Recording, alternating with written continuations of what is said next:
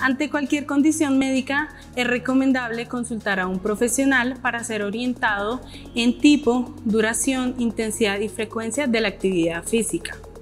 También es importante suspender y o asistir a un médico si se presenta dolor, dolor y presión en el pecho, sonido fuerte en las articulaciones, fatiga excesiva y lesión durante el ejercicio.